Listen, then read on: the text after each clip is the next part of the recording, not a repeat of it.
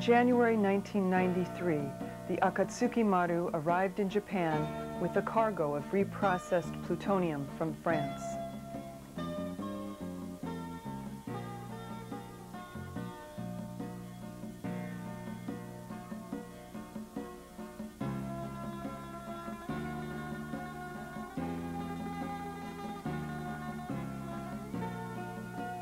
Ton of plutonium carried by the Akatsuki Maru was extracted from spent fuel that originally came from Japanese nuclear power plants.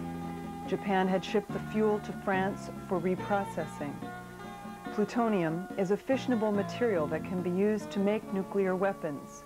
One ton of plutonium is enough to produce 100 atomic bombs. Fears that the shipment would only heighten the risk of global nuclear proliferation prompted nations along the proposed transport route to oppose the passage of the ship through their waters. But the Japanese government insisted on keeping the actual route a secret, as well as all other information about the shipment. Japan ignored the protests by other countries and unilaterally routed the plutonium ship through their economic sea zones. Whatever it seems to me, is that it will pass through the island nations of the South Pacific. And the inherent dangers and the hazards attached to this frequent shipping is something beyond our own imagining at this stage, given the nuclear onslaughts we have already suffered in the Pacific from other more powerful nations which have imposed their policies on us. Between now and the year 2010, over 30 tons of plutonium will be shipped back to Japan from France and England. Plutonium is produced at the very end of the nuclear fuel cycle, but every stage of this cycle, from uranium mining to plutonium production, has taken a heavy toll in human lives.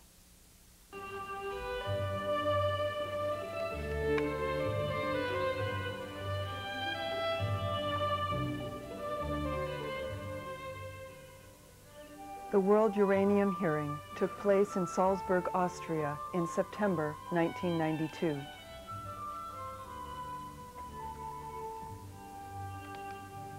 Уважаемые слушатели, учитывая важность и судьбоносность нашего первого форума, The hearing brought together people from the former Soviet nuclear test site at Semipalatinsk. Soviet scientists stricken with cancer after they entered the ruins of Chernobyl. Marshall Islanders suffering from the effects of America's hydrogen bomb tests. And indigenous people who have been victimized at every stage of the nuclear fuel cycle. It was an opportunity for nuclear victims from around the world to gather together and testify about the destruction wrought upon their lives and their environments.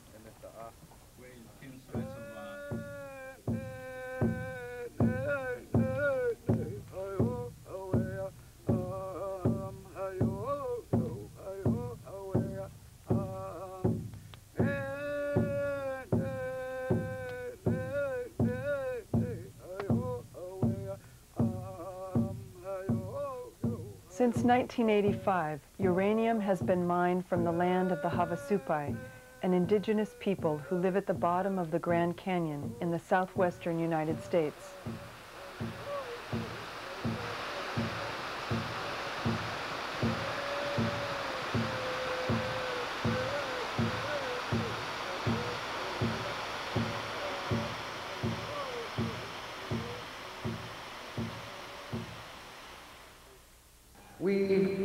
The people, believe that we lived within the Mother Earth. The place of emergence where we come out to the surface of our Mother Earth is within the Grand Canyon area. There we live in peace, in harmony, with plant life, wildlife, our Mother Earth, the waters, the air, the sun, the moon. These we regard as our relatives. The blue-green water that you see is going to be contaminated. We use that to drink and feed our animals and to water our crops. As a young person, I was taught by my elders to understand that that is my home and it always will be. And we are considered guardians of the Grand Canyon. And um, when I'm growing up, I see many bad things going on all over the world. And I too will continue to struggle, fighting to protect my Mother Earth and my future to come.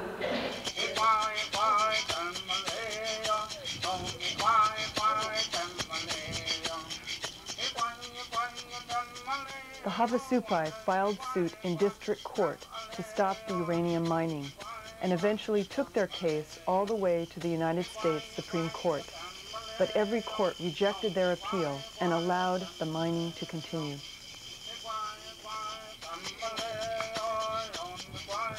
We appealed that decision which environmental quality had given permission to Energy Fuels Nuclear to go ahead and mine.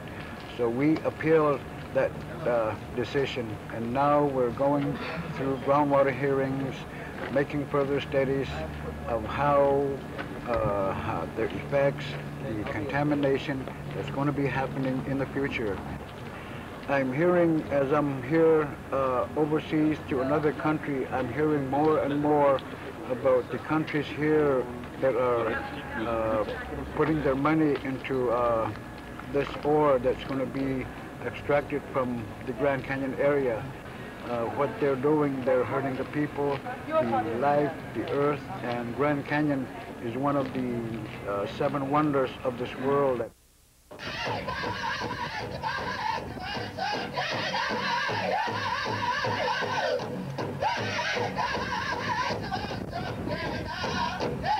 Over 50% of America's uranium supply lies buried in the Four Corners area, home to the Havasupai and other indigenous people, including the Navajo, Hopi, Acoma, and Laguna. For years, the United States government has mined and milled the uranium in this region for its nuclear plants and nuclear weapons. Among them, the bombs dropped in Hiroshima and Nagasaki, and those tested in the Nevada desert. At the height of the arms race, over a quarter of the uranium in America's nuclear arsenal was mined here.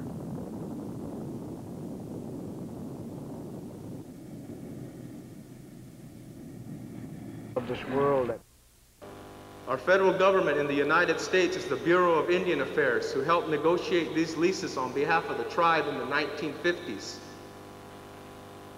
As our trustee, the Bureau of Indian Affairs misled our people. Granted, uranium was still a new industry in the United States, but however, they didn't tell our people the truth. In this area, as I said, over 30 years, uranium was developed from the 1950s till the closing of the last mine, which was the Chevron mine, which had the deep, deepest, uh, world's deepest uranium mining shaft into our sacred mountain.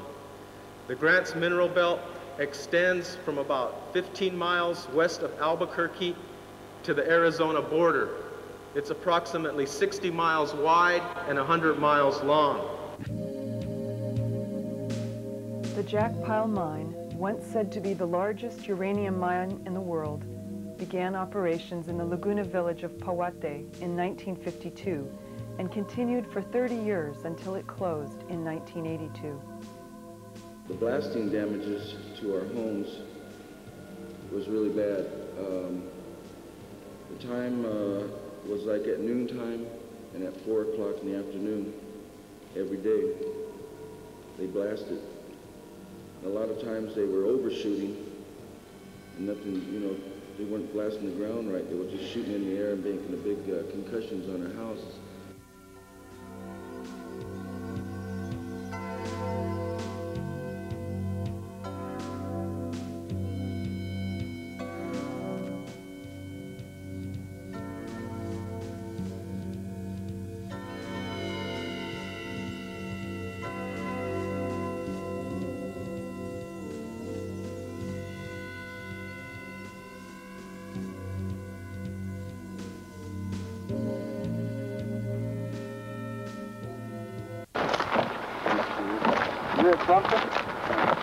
But as you can see, it, it is an eyesore. Yeah. I don't know why they dug it up. I know why they dug it up, because they needed energy, but they're destroying everybody else with it.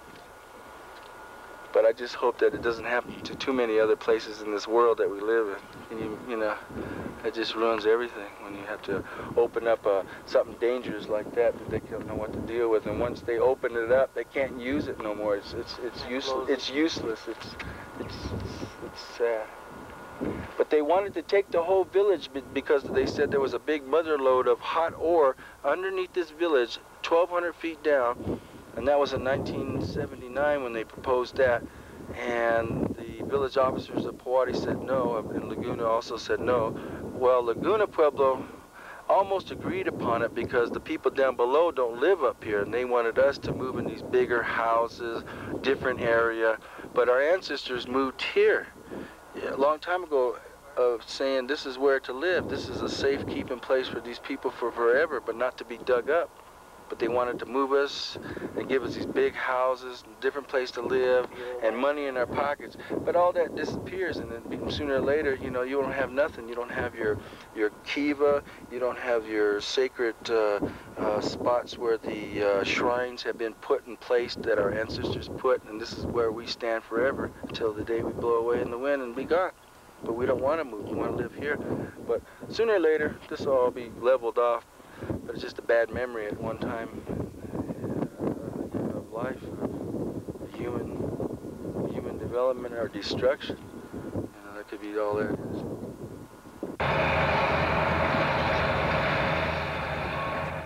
For eight years after the mine at Paguate closed, piles of leftover radioactive waste remained out in the open. The waste is now being covered up, but only by a thin 18-inch layer of soil. This inadequate covering is scattered by the wind and washes away whenever it rains.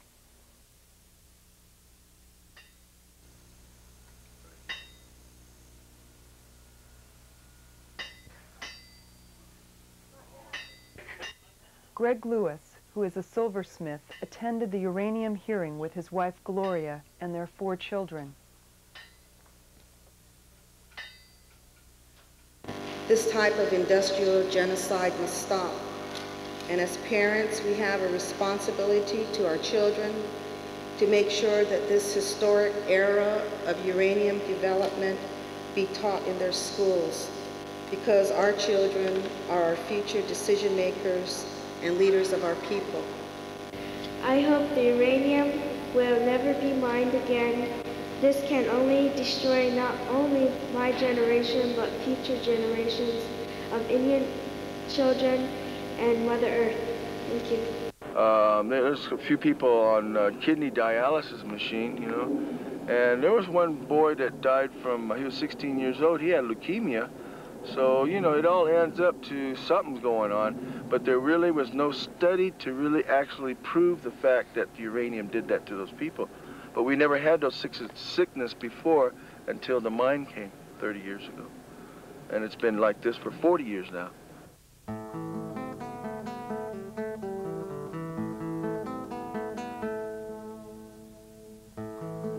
Nearly all the uranium mines and mills in the American Southwest are shut down now.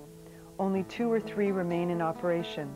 The reason is simple, a plunge in the price of uranium on the world market.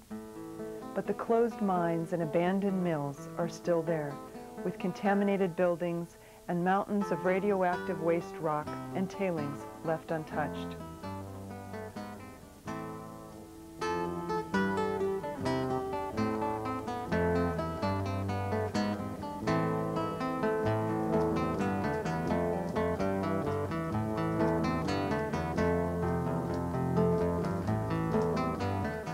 Leftover tailings are even more dangerous than the uranium that was extracted from them. It takes one ton of uranium ore to produce just four pounds of refined uranium, or yellow cake. The rest is discarded as tailings. On Navajo land alone, 9 million tons of waste have been left at the abandoned sites of uranium mills.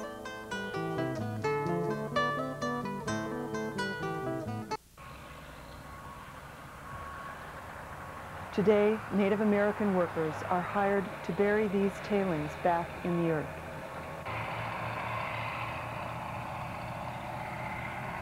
Early mines were very unsafe and dirty. There was no ventilation at these mines, no safety equipment, no respirators, there was no gloves were provided. They were constantly they were constantly exposed to radiation other gases and smoke from the blasting. The mine water was used for public consumption and often taken home and used for baby formulas.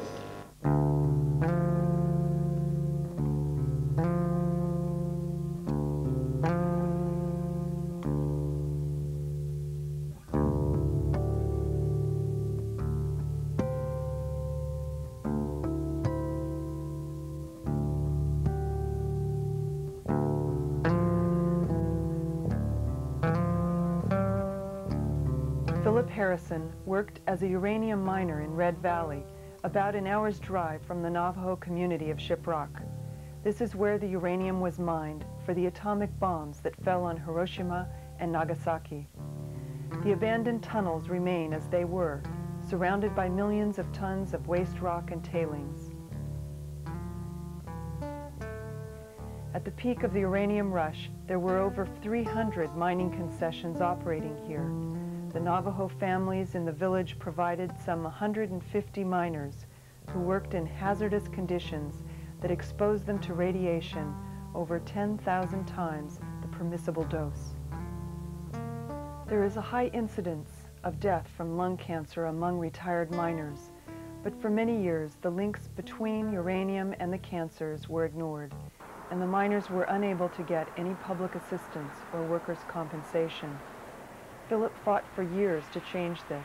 His efforts finally bore fruit in October 1990 when the United States Congress passed a law providing compensation to the miners.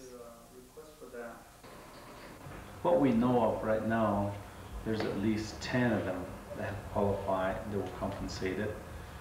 And other than that, there's um, at least 700 more cases that was filed. And these were uh, cases that have been, that have been accumulated from the past that have uh, records that were already straightened. Most of them were widows.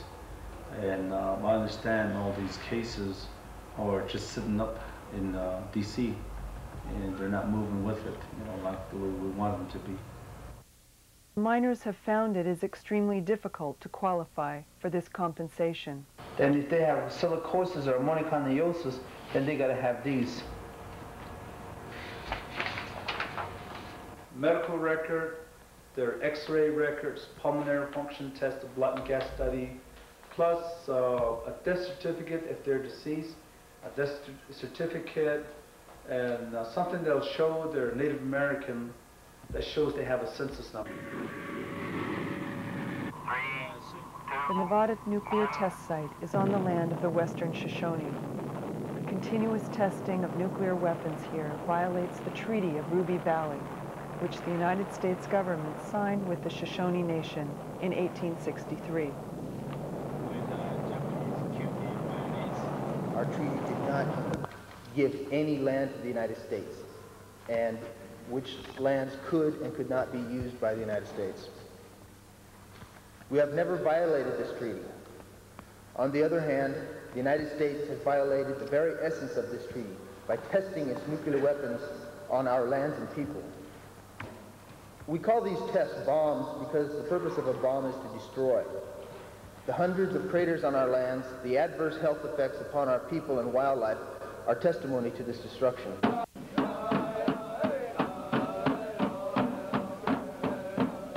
On October 12, 1992, 500 years to the day after Columbus first landed in America, people from around the world converged on the Nevada test site. They were there to support the Western Shoshone people and demand a halt to nuclear testing.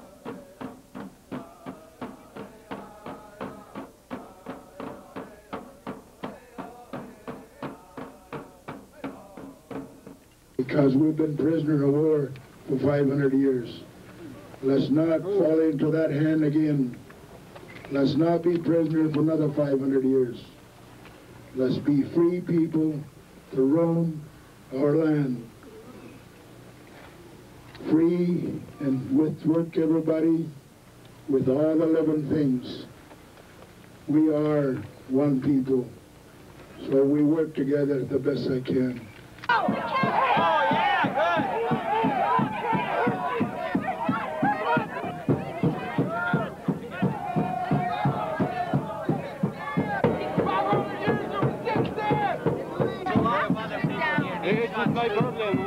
Taking pictures the whole time. Don't stand there when you're not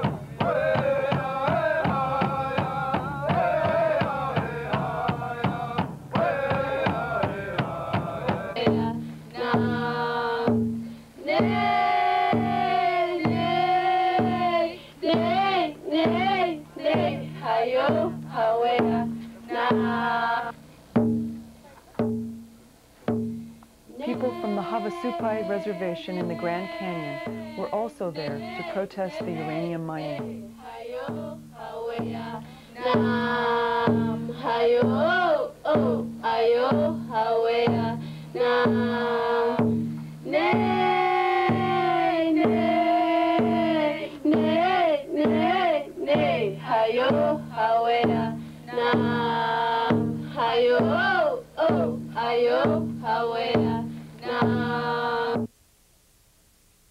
Japan currently has 44 nuclear power plants in operation. 100% of the uranium used to fuel these reactors comes from the land of indigenous people in the United States, Canada, and Australia.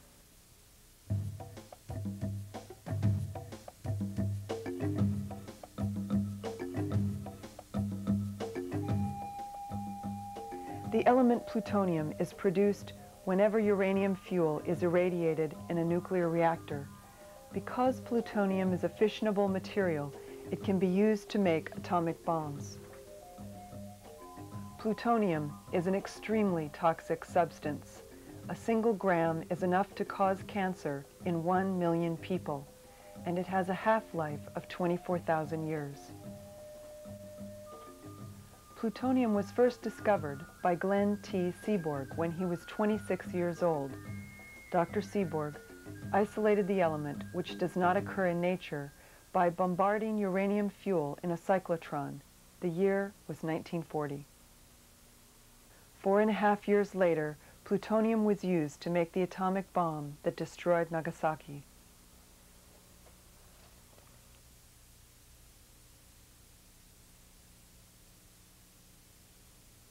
This is the laboratory at the University of California, Berkeley, where plutonium was discovered. It was actually um, more like four years or four and a half years uh, afterwards. Uh, uh, we worked uh, very, very fast in those days. Uh, well, my reaction was that it, I was glad to see it bring the uh, war to an end, and that's what it did. The plutonium Japan recently transported by ship from France is supposed to be used as fuel in the fast breeder reactor Monju, now under construction in Tsuruga by the Japan Sea. Uh, I'm glad to see Japan uh, pursuing the fast breeder reactor, which is based on uh, plutonium. Uh, if we're going to have uh, the nuclear fission source uh, play a, an important role in the future development of energy in the world, uh, we're going to have to develop the breeder reactor. The fast breeder reactor is described as the ultimate nuclear reactor because it produces more plutonium fuel than it consumes. Yet France, which was the world leader in breeder reactor development, canceled its program because of the economic and technical problems involved. At Rokkasho in northern Japan, there are plans to build a full-scale reprocessing plant to extract plutonium from spent reactor fuel. But reprocessing plants, too, have been abandoned in one country after another because of the economic and technological risks they pose. Well, plutonium obviously is radioactive, and uh, if you ingest it, it's, it's uh, not good. But uh, I believe that the uh, claims that it's uh, one of the worst poisons in, in the world uh, are overstated. actually, almost essentially nobody has been hurt from plutonium so far. And those that have ingested it in the course of their work haven't uh, suffered the ill effects that uh, were predicted. At the uranium hearing, participants described the radioactive contamination around the reprocessing plants at Savannah River and Hanford in the United States and Sellafield in England. Plutonium and other toxic substances have polluted the groundwater and destroyed the health of workers and nearby residents. For 40 years, the Hanford Reprocessing Plant in Washington State produced plutonium for America's nuclear weapons program, starting with the Nagasaki A-bomb and continuing for the duration of the Cold War. On several occasions, the plant released radioactive materials into the environment, most often accidentally, but at least once in a deliberate experiment. 1949 Green Run was a deliberate release and then somebody in our government made a conscious decision to keep it secret so that none of us could seek care. Remember the three things about him? Twice out of Chernobyl. It was deliberate. And a conscious decision was made to keep it secret from the citizens by his own government. Tom Bailey was born on a farm next to the Hanford plant. He grew up on a diet of milk and farm produce, contaminated with radioactivity. Tom was born with birth defects and is now sterile. Abnormal births and deformities were also common among the livestock on farms in his neighborhood. In the worst year, 80 out of 200 cattle were born deformed. When Tom started to ask whether the same effects might be found in people, his battle was only beginning.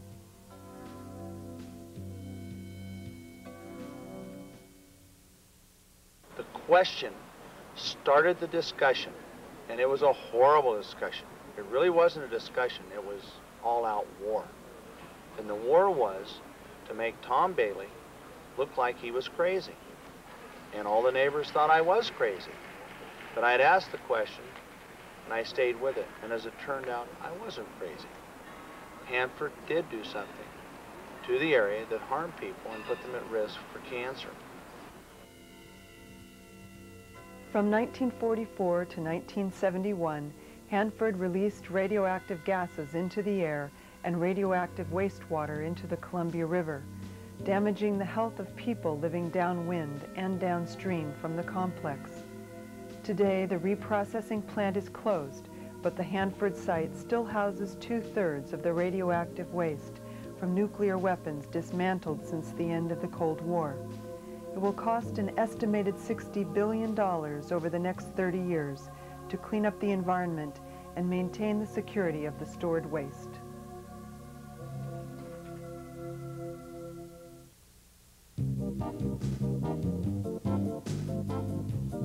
Like Hanford, the Savannah River plant on the South Carolina-Georgia border produced radioactive materials for America's nuclear arsenal plutonium, as well as tritium used in hydrogen bombs. And like Hanford, Savannah River secretly released toxic gases and wastewater that contaminated the surrounding area. At the age of 17, I was diagnosed with a disease, drinking from contaminated milk. It was diagnosed as a disease that would take my life by the time I was 35. And I am grateful that the Creator has seen fit to use me further because very soon I will be 45. So I have been granted 10 extra years. We know that the scientists say that there is a controversy over the health effects of low radiation. But I'm here to tell you, my friends, along with the others, that low radiation doses is deadly, dangerous, and it causes death. Death through leukemia, death through cancer. I lost my sister through leukemia and my grandmother through cancer. And many of my friends who live in Chatham County suffer from cancer. We, the second largest county in the state of Georgia, has the highest incidence of cancer in our state.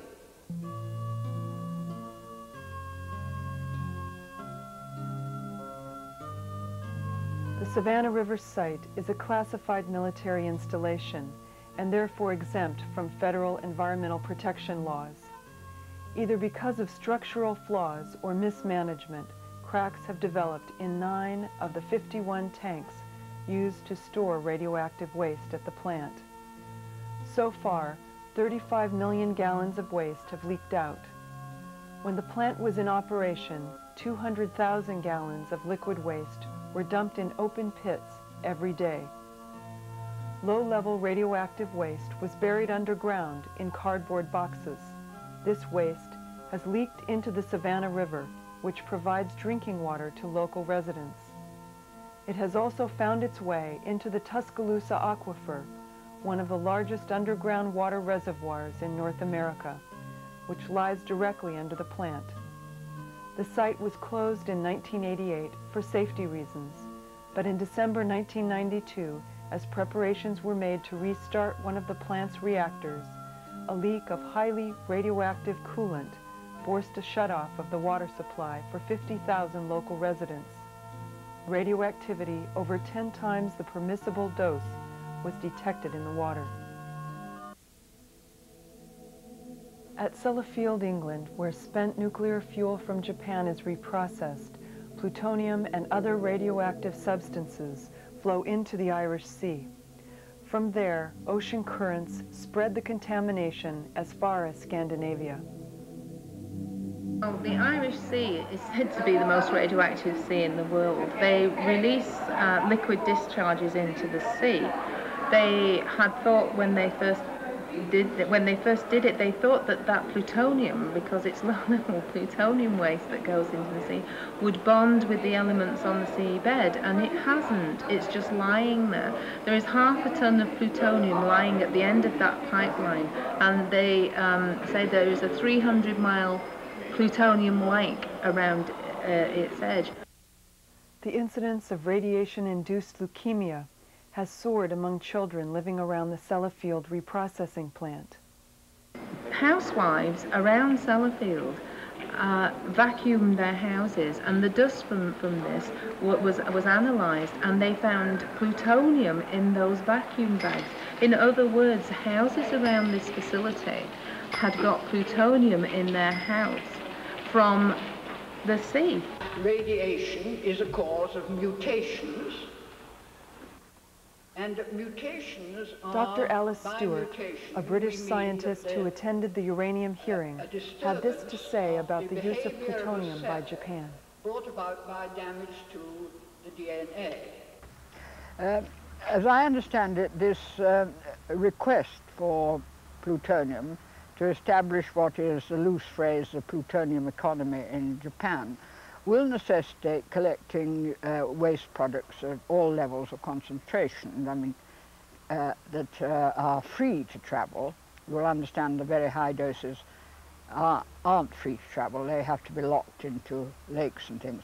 But um, does this constitute a risk to anybody? Well, of course, there's a certain um, risk in the sheer transport.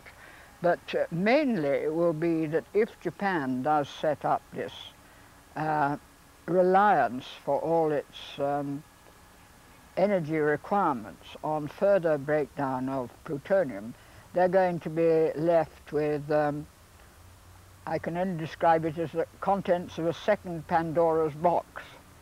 Pandora's box was opened when we, mankind, first uh, fissioned, uh, uh, split the atom. And we, the world has now um, become accustomed to tolerating extra uh, radiation from this source. This is going to add to this trouble, and it's going to be concentrated in islands with a very heavy population, so it's bound to have a bad effect. Where I can emphasize this is that uh, it was once thought that provided the radiation was delivered slowly enough to everybody, there would then be no effect at all. That what was dangerous was a sudden explosion. Uh, my work suggests it's exactly the opposite. That if you, the slower you spread the dose, the more effective every bit of radiation is going to be in producing the damage necessary either for cancer or for inherited defects. And therefore, in my opinion, Japan is going the very best way in the world to destroy the human race.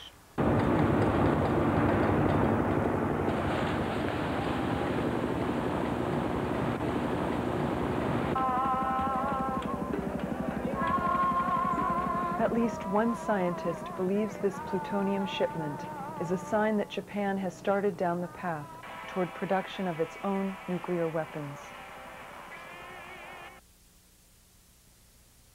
日本が核武装するのではないとでそれがその北朝鮮が再処理工場 North Korea built itself a reprocessing plant because it fears that Japan will develop nuclear weapons.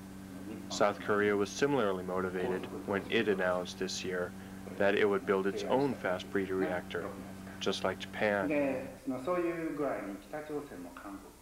So the nuclear programs of both Koreas stem from competition with Japan.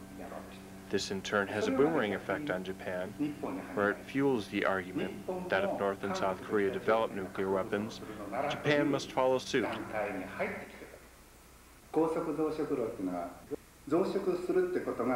The real purpose of a fast breeder reactor is not simply to breed more fuel. What it really does is take low purity plutonium, which is only good for making primitive atomic bombs, and turn it into high-grade plutonium, which can be used in neutron bombs and other tactical nuclear weapons. That is what these countries are planning to do.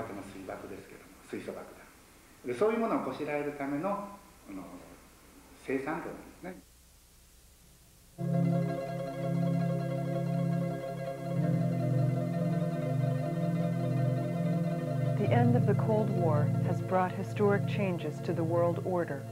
America and Russia have embarked on a series of dramatic arms reductions.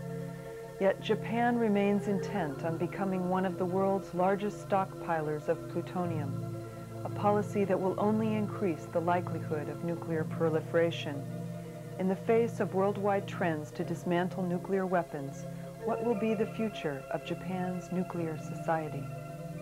まあ、ヨーロッパから日本にプルトニウム輸送が始まって、えーまあ、今回が最初ですけどこれから何回も何回 Japan も plans to ship plutonium from Europe many times over.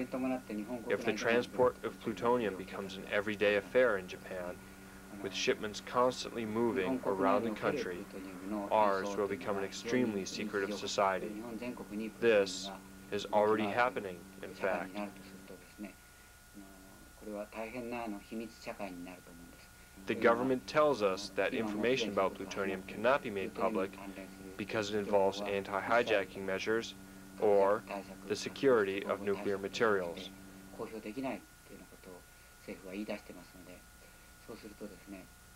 The result is that the plutonium is transported entirely in secret. At any time, plutonium may be shipped right through our neighborhoods without a word of warning. 自分のう住んでるすすぐそばの道路をですねプルトニウムを駆け抜けるというようなことがあるわけですねでそういうことに対して住民が Then, if the average citizen worries about this and tries to monitor these shipments, he finds himself the target of surveillance by the police, who accuse him of being a nuclear hijacker. This is already happening in Japan. というようなことがあるすでに運動の中でそういうことが起こっているわけです。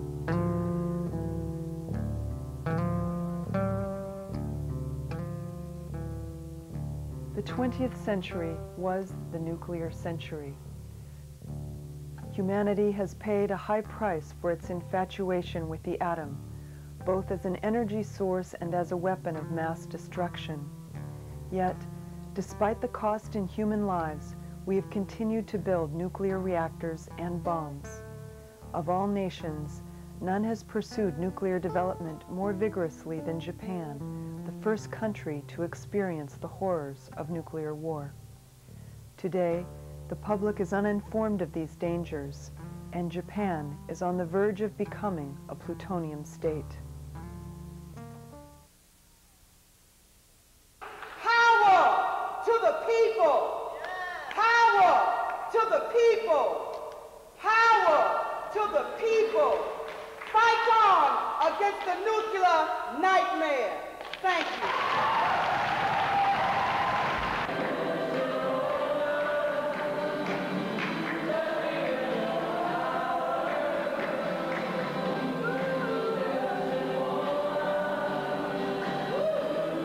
Do we really need plutonium?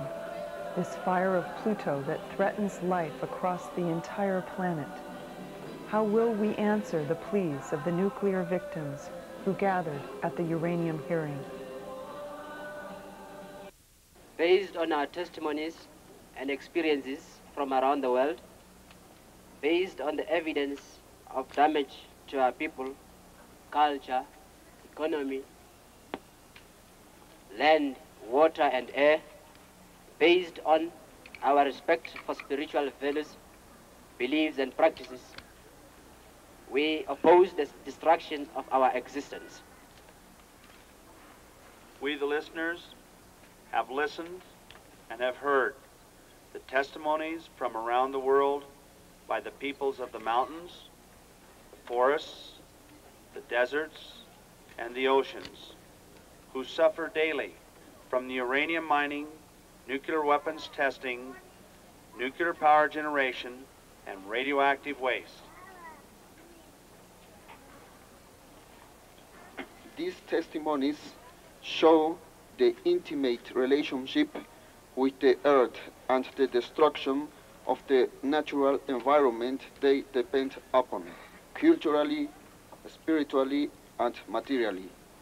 It became clear that each phase of nuclear process, civilian or military, has a deadly impact on all forms of life. We realize that we, the inhabitants of this planet, responsible for the generations to come, have to live with consequences of our radioactive heritage from now on. Together we say, no more exploitation of lands and peoples by uranium mining, nuclear power generation, nuclear testing, and radioactive waste dumping. Clean up and restore all homelands. End the secrecy and full disclosure all information about the nuclear industry and its dangers.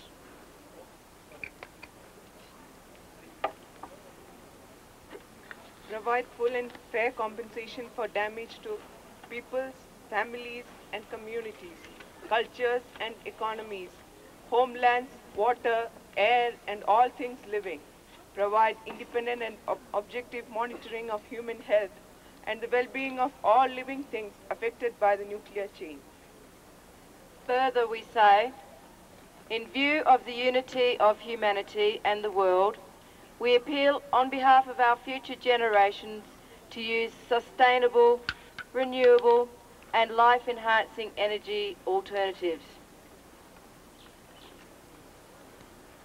We call on the whole world, in particular readers and scientists, to share in our vision for peace, harmony, and respect for life.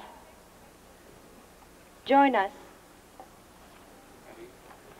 All together, join us all.